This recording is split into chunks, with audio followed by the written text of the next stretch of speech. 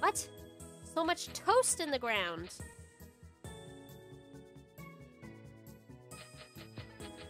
That's like foreboding. It's trying to warn us of danger. Why